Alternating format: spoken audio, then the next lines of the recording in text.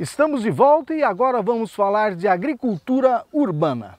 Pois é, você vai ver agora que o projeto Hortas Comunitárias de Maringá é um programa bem sucedido e que vai servir de exemplo para outras cidades brasileiras. Acompanhe.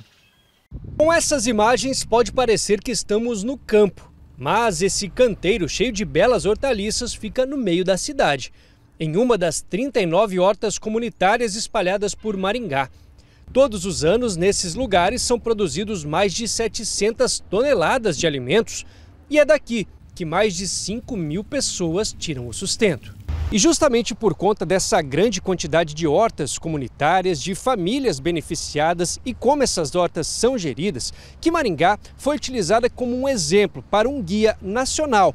Ou seja, diversas cidades podem utilizar esse guia para fazer o mesmo que é feito aqui na cidade. A diretora de agricultura do município conta que cada família cuida do seu canteiro e pode vender as hortaliças, o que também acontece em outras cidades brasileiras. A diferença é que em Maringá, a prefeitura não apenas cede o espaço, mas auxilia na produção com a distribuição de insumos, por exemplo. Hoje a gente cede mudas, sementes, o composto orgânico e a assistência técnica é continuada.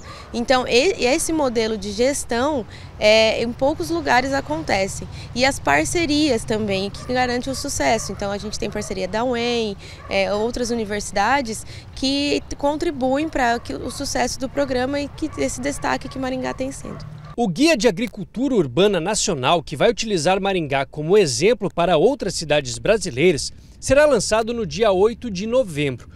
Além das hortas comunitárias e de viveiros auxiliarem quem trabalha por aqui, também ajudam a comunidade que fica em volta. A gente sempre fala que as hortas comunitárias são, é, é um programa de benefício social é, de bem-estar para as pessoas. Então, as, as pessoas que vêm aqui são agricultores ou até que consomem os alimentos encontram aqui uma melhoria social, uma melhoria de bem-estar, com uma alimentação saudável, de fácil acesso, de baixo custo e para quem é agricultor também tem a geração de renda.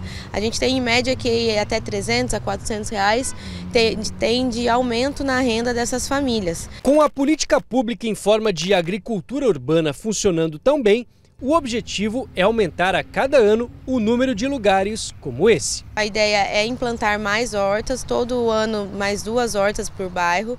Também os viveiros comunitários a gente quer colocar em outros bairros, mas também a gente tem projetos como Meu Pomar, que em vez de plantio apenas de hortaliça, mas por que não plantio de frutíferas, né?